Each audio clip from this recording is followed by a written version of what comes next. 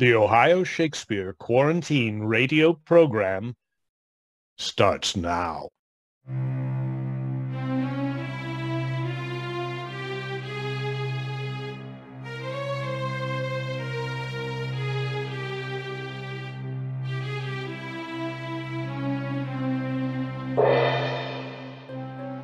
Good evening, everyone. I'm your host, Avon Quarto, and welcome to the Ohio Shakespeare Quarantine Radio Program, where we produce original works based on classic stories for your at home entertainment.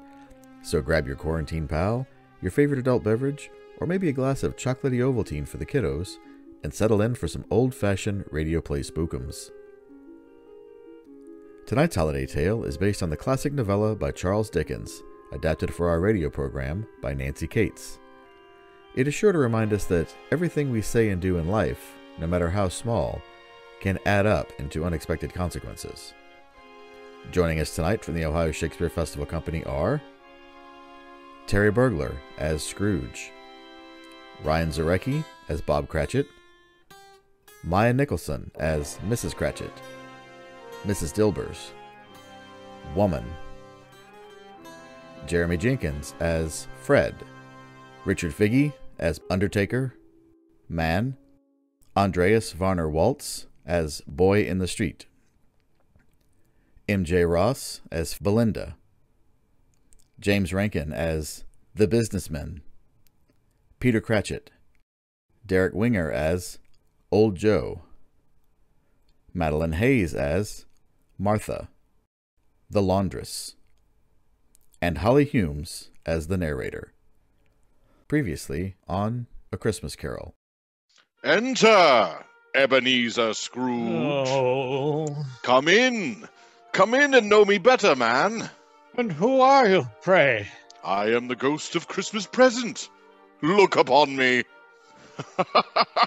have you never seen the like of me before? Never. Uh, Have never walked forth with the younger members of my family? My elder brothers born in recent years? I don't think I have. I, I, I'm, I'm afraid I have not. Have you had many brothers, Spirit? More than 1800?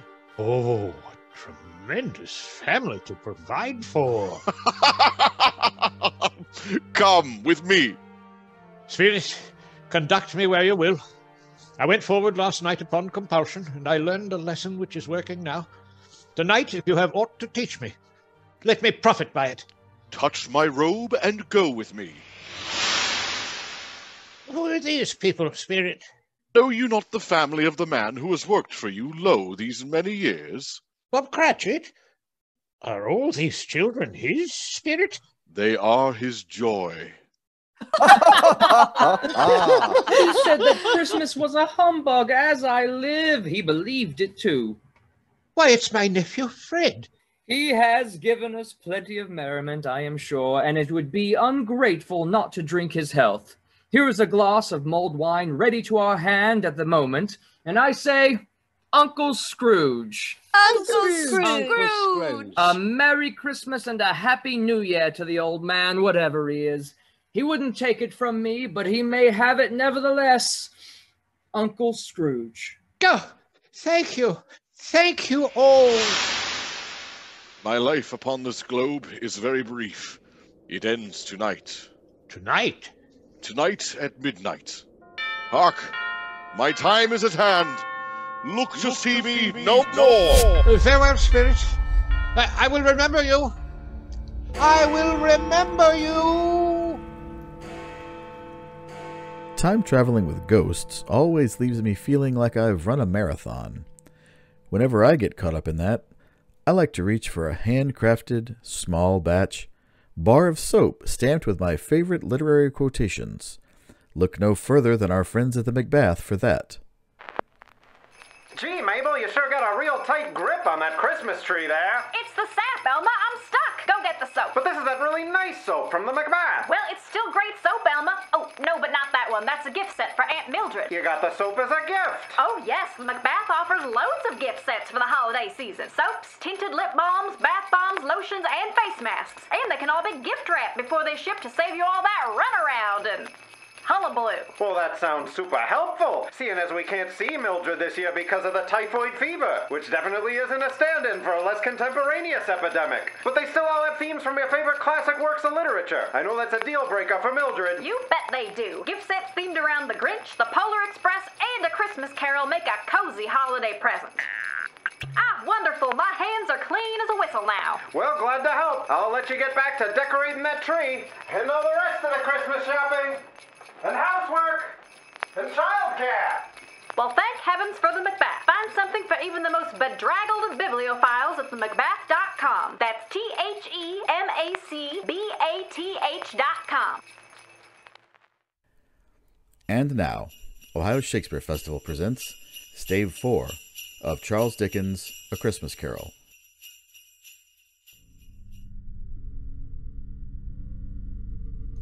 The phantom slowly, gravely, silently approached. The very air through which this spirit moved seemed to scatter gloom and mystery. It was shrouded in a deep black garment which concealed its head, its face, its form, and left nothing of it visible save one outstretched hand. But for this, it would have been difficult to detach its figure from the night and separate it from the darkness by which it was surrounded.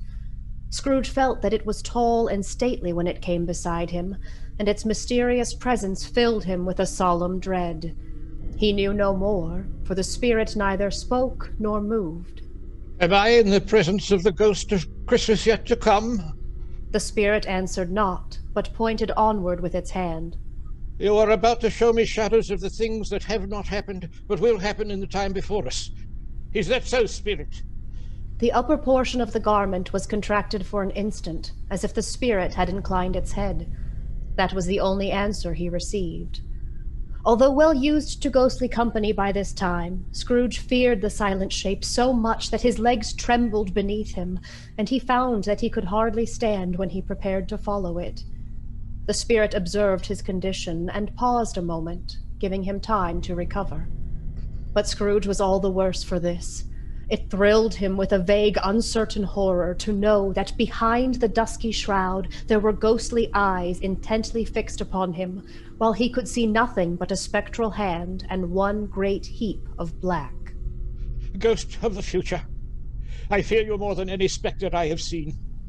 But as I know your purpose is to do me good, and as I hope to live to be another man from what I was, I am prepared to bear your company and do it with a thankful heart. Will you not speak to me? It gave him no reply, but pointed the hand straight before them. Lead on. Lead on. The night is waning fast, and it is precious time to me, I know. Lead on, spirit. The phantom moved away as it had come. Scrooge followed in the shadow of its dress, which bore him up and carried him along. They scarcely seemed to enter the city, for the city rather seemed to spring up about them and encompass them of its own act. But there they were, in the heart of it, amongst the merchants who hurried up and down, and chinked the money in their pockets, and conversed in groups, and looked at their watches, as Scrooge had seen them do often. The spirit stopped before the bank, beside a little knot of businessmen.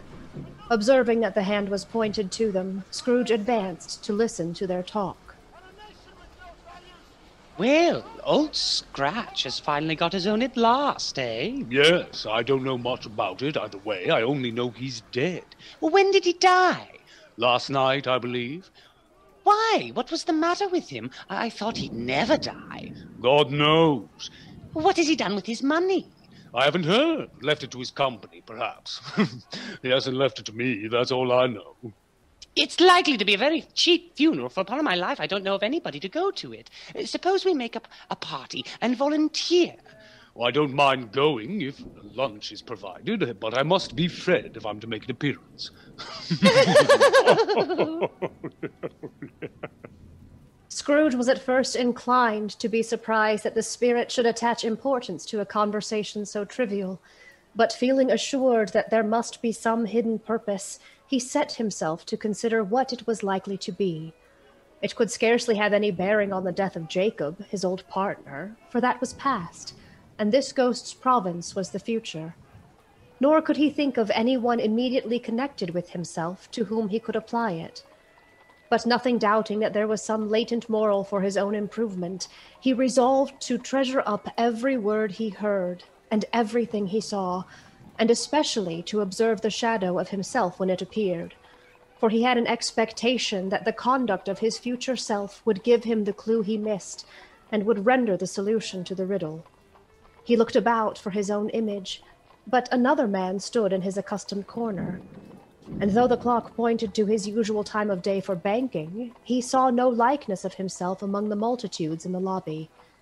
It gave him little surprise, though, for he had been resolving in his mind a change of life, and thought and hoped he saw his newborn resolutions carried out in this.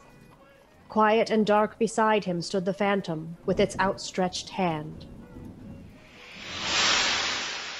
They left the busy scene and went into an obscure part of the town where Scrooge had never penetrated before, although he recognized its situation and its bad repute. The ways were foul and narrow, the shops and houses wretched, the people half naked, drunken, slipshod, ugly. Alleys and archways, like so many cesspools, disgorged their offences of smell and dirt and life upon the straggling streets, and the whole quarter reeked with crime, with filth and misery. Far in this den of infamous resort, there was a shop where iron, old rags, bottles, bones, and greasy offal were bought. Upon the floor within were piled up heaps of rusty keys, nails, chains, hinges, files, scales, weights, and refuse iron of all kinds. Secrets that few would like to scrutinize were bred and hidden in mountains of unseemly rags, masses of corrupted fat, and sepulchres of bones. Sitting in among the wares he dealt in was a gray haired rascal, at least seventy years of age, who had screened himself from the cold air without by a frowsy curtaining of miscellaneous tatters hung upon a line, and smoked his pipe in all the luxury of calm retirement.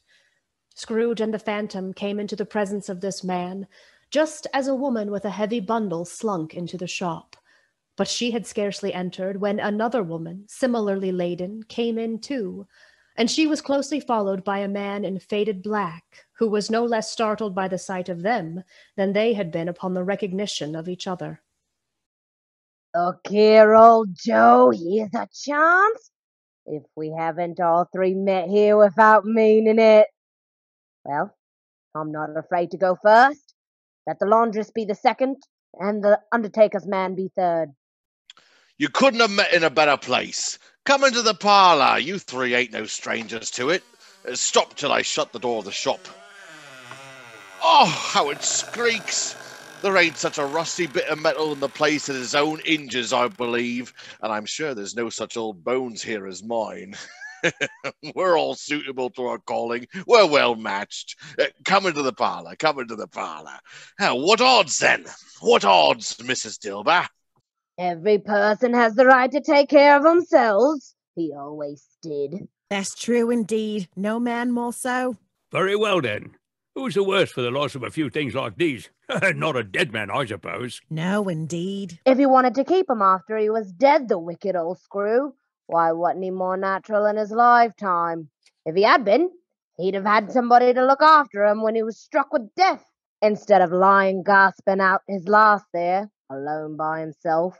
It's the truest word that was ever spoke. It's a judgment on him. I wished it was a little heavier judgment, and it should have been. You may depend upon it. Oh, if I could have laid my hands on anything else. Open that bundle, old Joe, and let me know the value of it. Speak out plain. I'm not afraid for them to see it. We all know pretty well we were helping ourselves before we met here, I believe. It's no sin. Open the bundle, Joe. Sheets, towels, uh, silver teaspoons, uh, sugar tongs, uh, boots, uh, sleeve buttons. Right, here's your account. I always give too much to the ladies. That's the way I ruin myself. Yo, say now, what do you take me for? You ask for another penny, I'll repent of being so liberal and knock off half a crown. and now undo my bundle, Joe. what do you call this? Bed curtains? Aye, bed curtains. You don't mean to say you took him down, rings and all, with him lying there? Yes, I do. Why not? you were born to make your fortune, and you'll certainly do it. and what have you to show, Undertaker? Ah, I certainly shouldn't hold back my hand for the sake of such a man as he was, I promise you, Joe. Not when I can get something by reaching it out. Just look these blankets. His blankets? Who else do you think?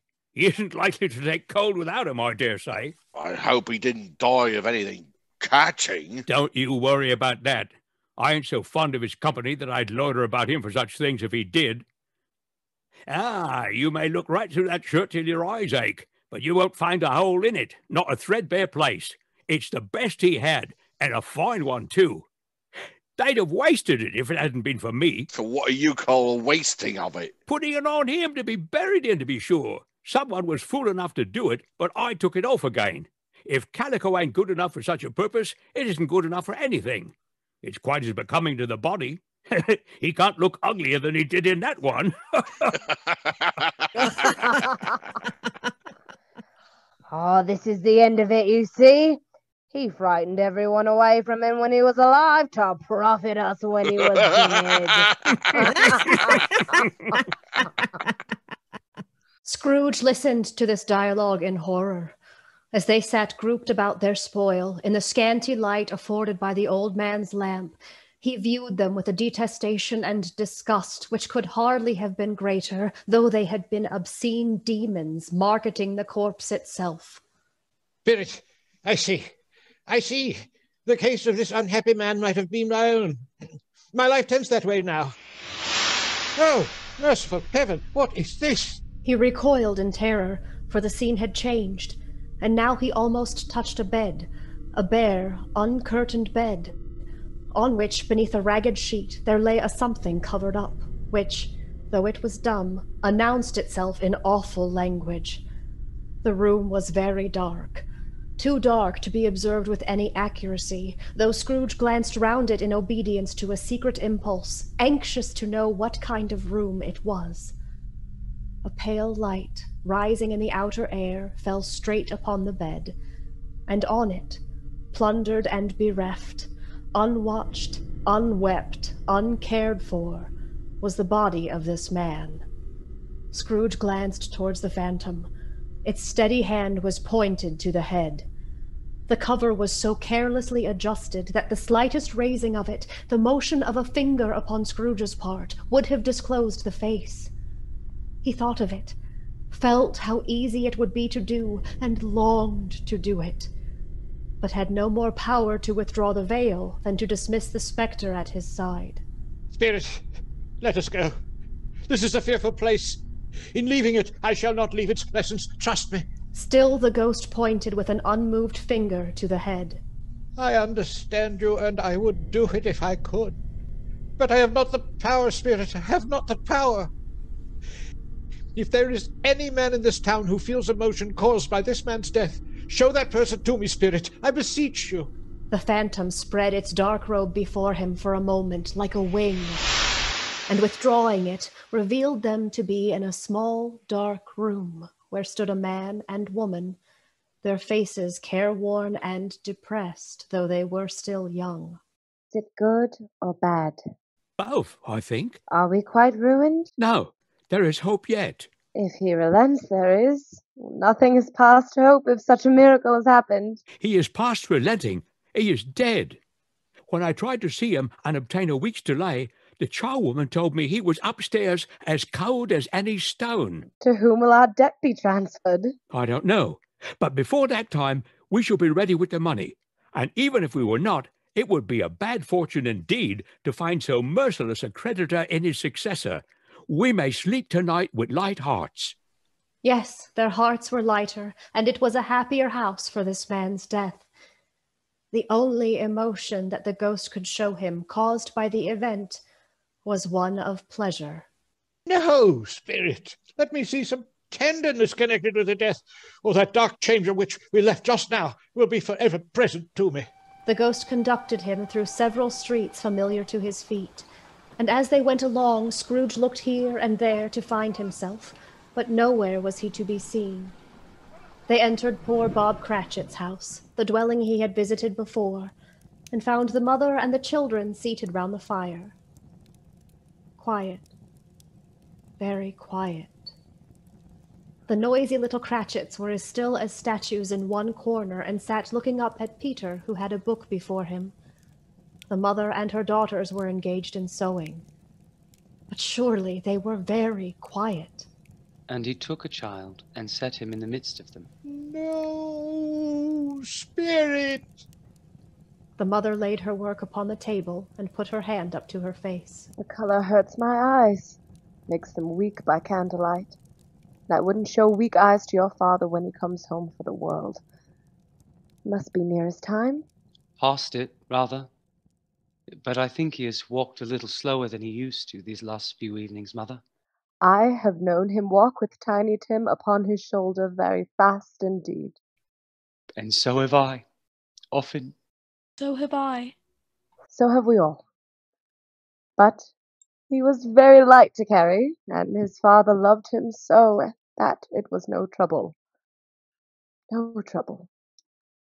And there is your father at the door. Hello, my dears. Hello, Hello, Father. Hello, Father. Did you see the place he is to lie, Robert? Yes, my dear. I wish you could have gone. It would have done you good to see how green a place it is. But you'll see it often. I promised him I would walk there on a Sunday. My little child. My little, little child. Oh, Father, please don't be so grieved. No, no, I'm, I'm all right. Oh, I almost forgot. I met Mr. Scrooge's nephew in the street today, and when he saw that I looked just a little down, you know, he inquired what happened to distress me. On which, for he is the pleasantest spoken gentleman you have ever heard, I told him. I am heartily sorry for it, Mr. Cratchit, he said. If I can be of service to you in any way, he said, giving me his card, that's where I live. Pray come to me. My dear, from his kind way, it really seemed as if he had known our Tiny Tim and felt with us. I'm sure he's a good soul. You'd be sure of it, my dear, if you saw and spoke to him. I shouldn't be at all surprised if he might arrange a better situation for Peter. Only hear that, Peter. And then Peter will be keeping company with someone and setting up for himself. Get along with you. It's just as likely as not, one of these days, though there's plenty of time for that later. But however and whenever we part from one another, I am sure we shall none of us forget poor Tiny Tim, shall we? Or this first parting that there was among us. Never, Never, never. Father. Never, Father. course. And I know, my dears, that when we recollect how patient and how mild he was, although he was a tiny, little, little child, we shall not quarrel easily among ourselves and forget poor tiny Tim in doing it. Of Never, course Father. not. Never, never, never, Father. not. I am very happy. I am very happy.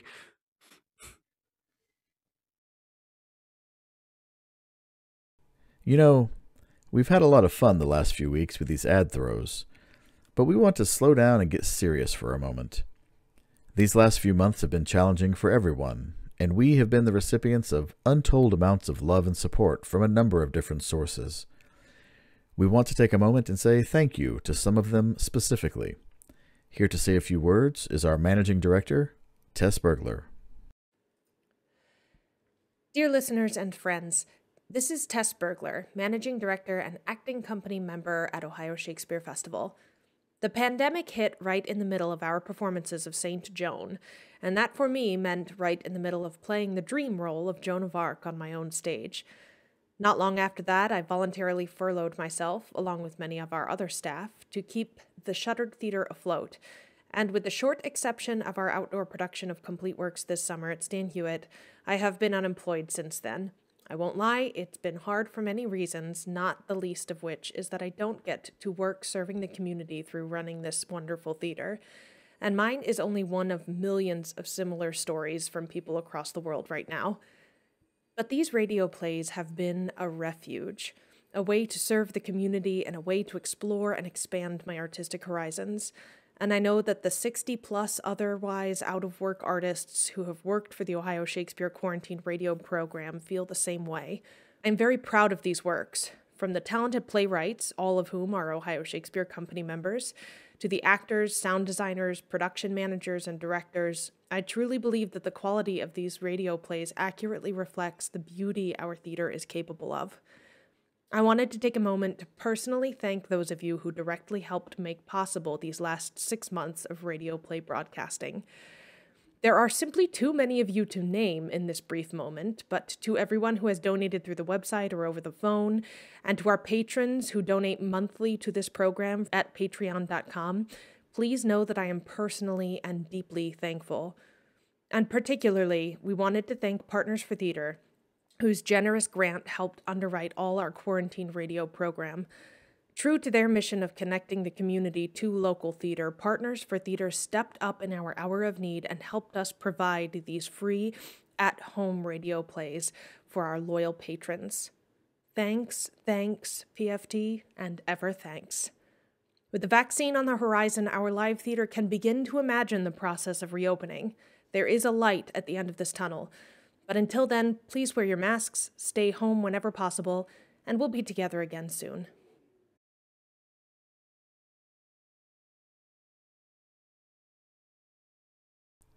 And now, the conclusion of Stave 4 of A Christmas Carol. The ghost of Christmas yet to come conveyed him as before, though at a different time, he thought. Indeed, there seemed no order in these latter visions, save that they were in the future, into the resorts of businessmen, but showed him not himself. Indeed, the spirit did not stay for anything, but went straight on as to the end just now desired, until besought by Scrooge to tarry for a moment. Ah, this court is where my place of occupation is, and has been for a length of time. I see the building. Let me behold what I shall be in days to come. The spirit stopped, but the hand was pointed elsewhere. The building is yonder. Why do you point away? The inexorable finger underwent no change. Scrooge hastened to the window and looked in. It was an office still, but not his. The furniture was not the same, and the figure in the chair was not himself. The phantom pointed as before. He joined it once again, and accompanied it until they reached an iron gate. He paused to look round before entering. A churchyard, walled in by houses, overrun by grass and weeds, the growth of vegetation choked up with too much burying, fat with repleted appetite. A worthy place. Spectre, something informs me that our parting moment is at hand. I know it, but I know not how. Tell me what man that was whom we saw lying dead. The spirit stood among the graves and pointed down to one. Scrooge advanced towards it, trembling. The phantom was exactly as it had been, but he dreaded that he saw new meaning in its solemn shape. Before I draw nearer to that stone to which you point, answer me one question. Are these the shadows of things that will be, or are they shadows of things that may be only? Still, the ghost pointed downward to the grave by which it stood. Men courses will foreshadow certain ends to which, if persevered in, they must lead. But if the courses be departed from, the ends will change. Say it is thus with what you show me. The spirit was immovable as ever. Scrooge crept towards it, trembling as he went, and following the finger, read upon the stone of the neglected grave his own name Ebenezer, Ebenezer Scrooge. Scrooge. Oh! Am I that man who lay upon the bed? The finger pointed from the grave to him and back again. No, spirit! Oh, no, no! Scrooge clutched tightly at its robe, but the finger remained. Spirit, hear me. I am not the man I was. I will not be the man I would have been but for this meeting. Why show me this if I am past all hope? For the first time, the hand appeared to shake. Good Spirit, your nature intercedes for me and pities me. Assure me that I yet may change these shadows that you have shown me by an altered life. The kind hand trembled. I will honor Christmas in my heart and try to keep it all the year. I will live in the past, the present, and the future. The spirits of all three shall strive within me. I will not shut out the lessons that they teach. Oh, tell me that I may sponge away the writing on this stone. Holding up his hands in a last prayer to have his fate reversed, Scrooge saw an alteration in the phantom's hood and dress. It shrank, collapsed, and dwindled down into a bedpost. Yes, and the bedpost was his own. The bed was his own. The room was his own. Best and happiest of all, the time before him was his own to make amends Oh. in. My bed curtains. They're not torn down. They're not torn down, rings and all. They're here. I am here. The shadow of things that would have been may be dispelled. They will be. I know they will. I will live in the past, the present, and the future. The spirits of all three shall strive within me. Oh, Jacob Marley. Heaven and the Christmas time be praised for this. I say it on my knees, oh Jacob, on my knees. He was so fluttered and so glowing with his good intentions that his broken voice would scarcely answer to his call. He had been sobbing violently in his conflict with the spirit, and his face was wet with tears. He tried to dress, and his hands were busy with his garments, turning them inside out, putting them on upside down, tearing them, mislaying them, making them parties to every kind of extravagance. Oh, I don't know what to do. I'm, as light as a feather. I, I'm as happy as an angel. I'm as merry as a schoolboy. Oh, oh, oh, I'm giddy as a drunken man. Oh, Merry Christmas to everybody. A Happy New Year to all the world. He had frisked into the sitting room and was now standing there, perfectly winded. Uh, uh, there, there, there. Oh, there's a sauce. There's a saucepan that the gruel was in. There's the door by which the ghost of Jacob Marley entered. There's the corner where the ghost of Christmas present sat. And there's the window where I saw the wandering spirits. Oh, it's all right. It's all true. it all happened to my. Really, for a man who had been out of practice for so many years, it was a splendid laugh, a most illustrious laugh, the father of a long, long line of brilliant laughs. I don't know what day of the month it is. I don't know how long I've been among the spirits. I don't know anything. I'm quite a baby. Never mind. I don't care. I'd rather be a baby. He was checked in his transports by the churches ringing out the lustiest peals he had ever heard. Running to the window, he opened it and put out his head. No fog, no mist. Clear, bright, jovial, stirring, cold. Golden sunlight, heavenly sky, sweet, fresh air, merry bells. Oh, glorious, glorious. Hello there, boy. Whoop. Hello. What's today? Eh? What's today, my fine fellow? Today? Why, Christmas Day. Christmas Day. I haven't missed it. The spirits have done it all in one night. Oh, they can do anything they like. Of course they can. of course they can. Hello, my fine fellow. Hello? Do you know the poulterers in the next street but one at the corner? I should hope I do. Oh, an intelligent boy, a remarkable boy. Do you know whether they've sold the prize turkey that was hanging up there?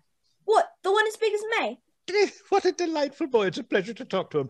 Yes, my buck. It's hanging there now. Is it? Go and buy it. Walker! No, no, I'm in earnest. Go and buy it and tell them to bring it here that I may give them direction where to take it. Now come back with the man and I'll give you a shilling.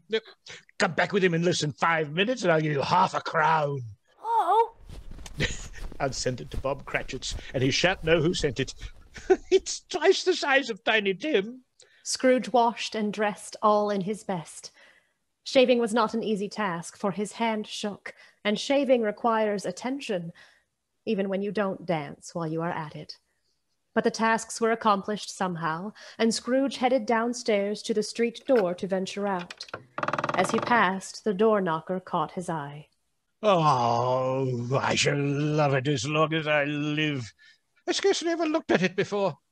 It's a wonderful knocker. The people were by this time pouring forth, as he had seen them with the ghost of Christmas present, and walking with his hands behind him, Scrooge regarded everyone with a delighted smile. He looked so irresistibly pleasant that three or four good humored fellows said, Good morning, sir. A Merry Christmas to you. And Scrooge said often afterwards that of all the blithe sounds he had ever heard, those were the blithest in his ears. He had not gone far, when coming on towards him he beheld the gentleman who had walked into his counting house the day before, and said, Scrooge and Marley's, I believe. It sent a pang across his heart to think how this old gentleman would look upon him when they met. But he knew what path lay straight before him, and he took it. My dear sirs, how do you do? I hope you succeeded yesterday. It was very kind of you. A Merry Christmas to you, sirs. Mr. Scrooge? Oh, yes, that is my name, and I fear it may not be pleasant to you. Allow me to ask your pardon. And will you have the goodness to, uh, I, I, Here, Scrooge whispered in his ear. Lord bless me, my dear Mr. Scrooge, are you serious? Oh, you please, not a farthing less. A great many back payments are included in it, I assure you. Will you do me that favor? My dear sir, I don't know what to say to such. Well, don't say anything, please. Come and see me. Will you come and see me? We will. Thank you. Oh, I am much obliged to you. I thank you fifty times. Bless you. He went to church and walked about the streets, and watched the people hurrying to and fro, and patted children on the head, and questioned beggars, and looked down into the kitchens of houses, and up to the windows, and found that everything could yield him pleasure. He had never dreamed that any walk, that anything could give him so much happiness.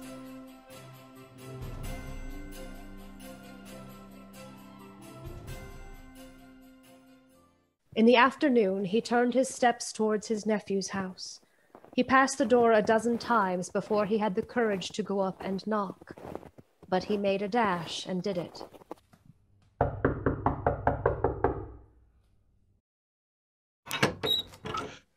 Is your master at home, my girl? Yes, sir. Oh, such a nice girl. A lovely girl. Where is he, my dear? He's in the dining room, sir, along with the mistress. Thank you. He knows me. Uh, I'll see myself in. Oh, and uh, here's something for your trouble. Thank you, sir. Merry Christmas, sir. um, uh, Fred? Why, bless my soul. Who's that? It is I, your Uncle Scrooge. I've come to dinner. Will you let me in, Fred? Let him in? It is a mercy he didn't shake his arm off. He was at home in five minutes. Nothing could be heartier. His niece and little Fan looked just the same. So did Topper when he came. So did everyone when they came. Wonderful party, wonderful games, wonderful happiness.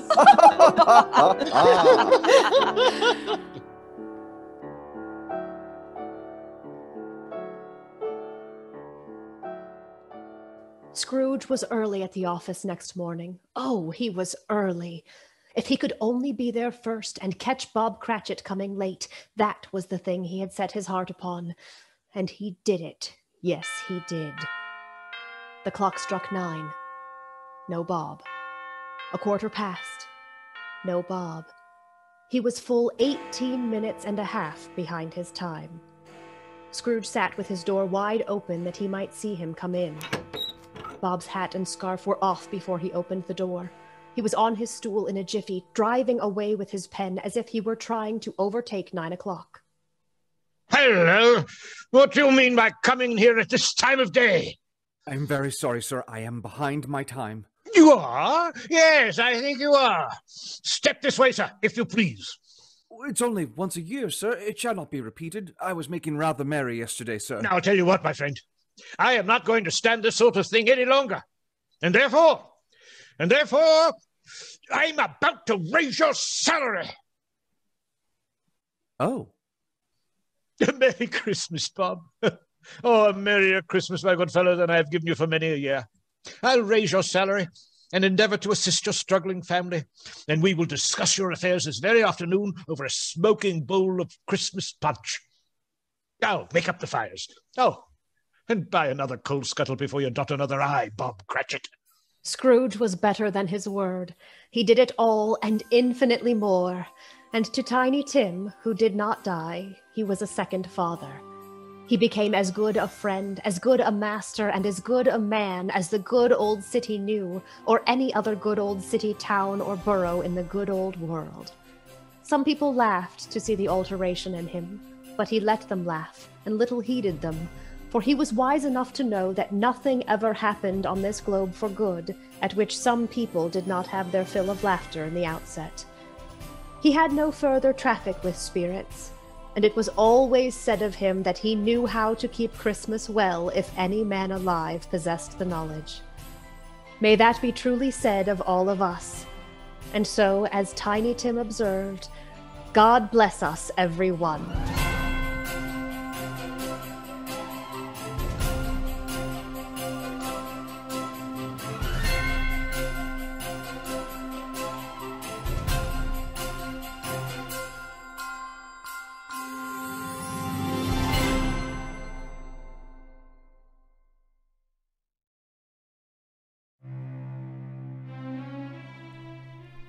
This concludes tonight's broadcast of A Christmas Carol, Stave 4, adapted for our radio production by Nancy Cates, from the classic novella by Charles Dickens. We would also like to recognize Technical Director Buddy Taylor, Managing Director and Sound Designer Tess Burgler, and Trevor Buda for writing and creating the original theme music for the Quarantine Radio program. Ohio Shakespeare is dedicated to creating these all original classic radio plays throughout the remainder of 2020. Look for them live on our Facebook page each month. You can also listen to them at any time thereafter on our website at www.ohioshakespeare.com or find them at soundcloud.com slash ohio-shakespeare-festival. These radio plays will remain free to the public, and Ohio Shakespeare will continue to pay our collaborating artists. If you would like to support these efforts, please consider joining our Patreon. All monies raised on our Patreon platform go right back into paying local actors and playwrights to produce these all original radio productions. Visit patreon.com slash ohio shakes. That's www.patreon.com slash ohio shakes. Tune in next time for our January show, Lady Molly of Scotland Yard. Until then, this is Avon Quarto saying good night.